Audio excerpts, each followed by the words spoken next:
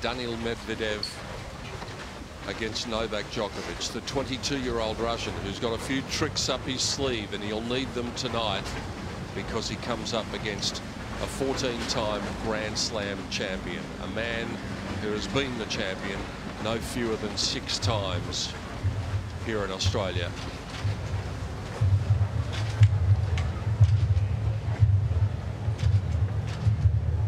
Rod Laver Arena, welcome to men's fourth round action. Please welcome our first player onto the court from Russia, Daniil Medvedev.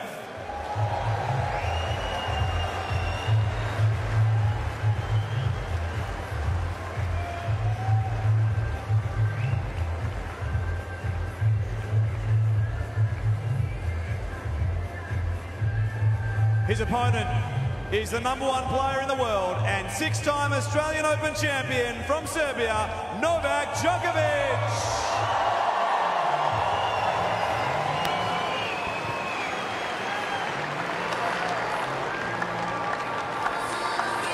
And it truly was on this court where the journey to the big time began for this man with that great final 11 years ago when he and a young Frenchman called Jo-Wilfried Tsonga emerged from nowhere and freshened up tennis by making the Australian Open final.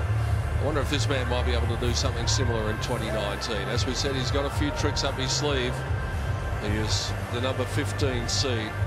He's the 19th ranked player in the world, but he's going to need to be at his best because this man, after some injury issues and seeing his ranking drop down, is back to number one again. In fact, he's fifth all-time on the week's occupying the number one spot.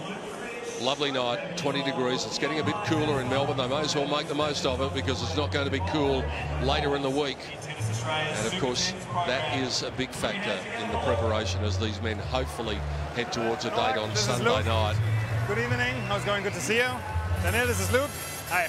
Gentlemen, I just want to give you a few information once again. After the coin toss, we take a picture with Luke, that direction, best of five sets. Tiebreak every set. If there's a final set tiebreak, it's up to 10 points. We have Hawkeye. If you want a challenge, make sure you let me know immediately. Make it clear. Best is to call challenge as always. Serve clock, 25 seconds. Make sure you observe the clock. It's in both corners. And five minute warm up. I will announce end of warm up and then we have actually 60 seconds to start the match. You have any questions so far? No? Novak? Luke told me he wants to ask you, Serbian background, so there we go. You want Rod Laver or ANZ? ANZ for you, Daniel. And it is ANZ, Daniel. Receive. Side picture, please. And a white towel, sure.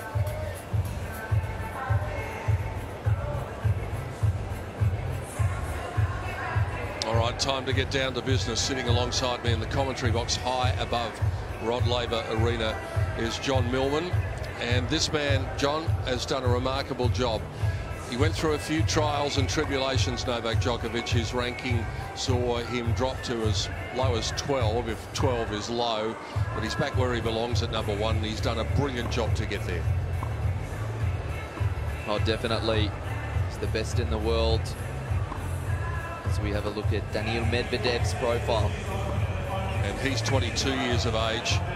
He's earned $2.6 million in his career so far. Part of that is because he reached the final in Brisbane. He lost to Kei Nishikori. It was a good quality final up there.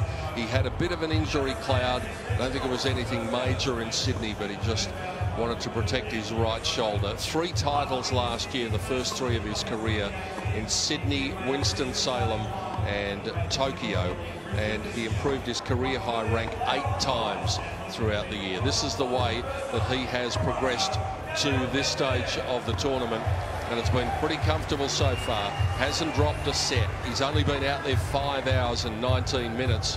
So that's a nice amount of time for him. Novak Djokovic has been out there six hours and 29 minutes to get through. And where do you start with his record?